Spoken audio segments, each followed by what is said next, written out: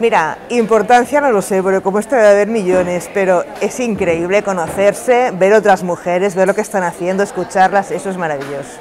Bueno, es que ellas no han de apostar, es que es la tecnología las va a invadir. Es decir, que o te unes o te unes, y mejor hacerlo de cara que no de espaldas, ¿no?